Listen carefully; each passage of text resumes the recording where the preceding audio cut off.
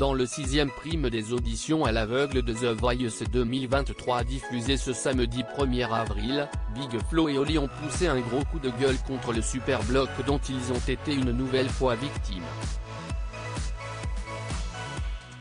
Le super bloc est de retour. Ce samedi 1er avril, les téléspectateurs découvrent le sixième épisode des auditions à l'aveugle de The Voice 2023. Il ne reste maintenant plus beaucoup de place dans les équipes de Zazie, Amel Bent, Big Flo et Oli et Vianney, et les talents vont devoir se surpasser pour intégrer l'aventure.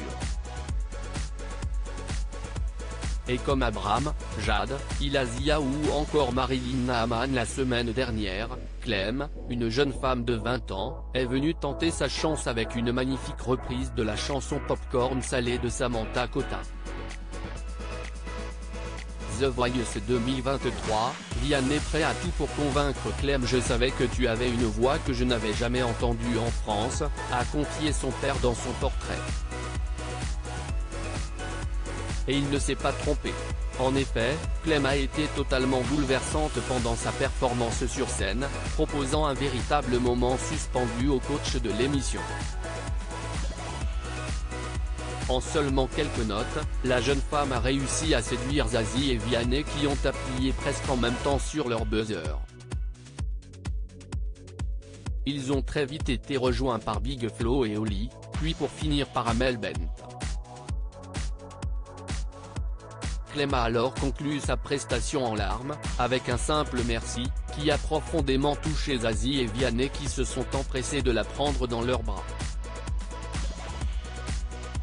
The Voice 2023, Big Flo et Oli sont victimes du super bloc. J'ai été très touché. C'était une magnifique prestation, lui a confié Vianney, déjà impatient de collaborer avec elle.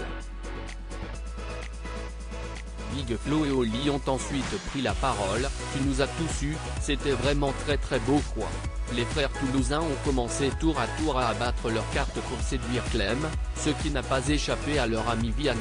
En effet, le chanteur du tube Beau Papa a alors décidé d'utiliser à son tour son super bloc.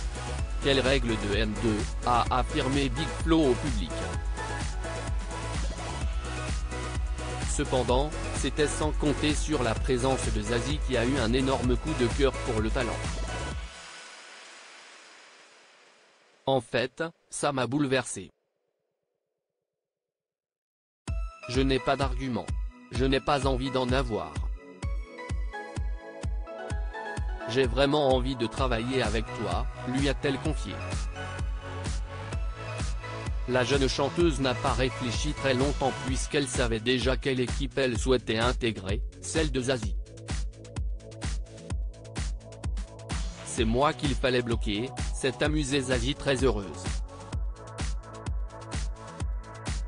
En tout cas, Big Flo et Oli ne sont pas prêts d'oublier cette trahison inutile de la part de Vianney, on appelle ça un bloc dans le vent, c'est finalement moqué Big Flo.